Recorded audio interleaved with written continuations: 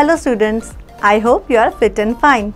Today we will learn the alphabets. The next alphabet is G. How to make the G? So start with the capital G. What you need to do is you need to make a small semicircle and a horizontal line. That makes the G. And how to make the small g?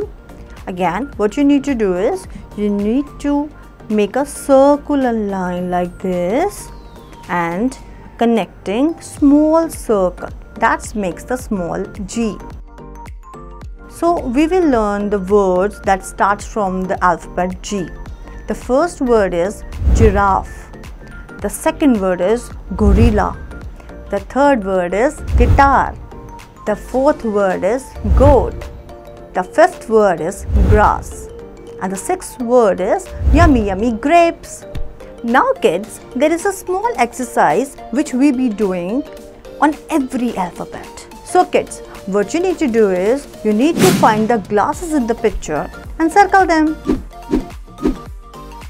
Yes, you got it right. I hope that you all have understood what we have learned today.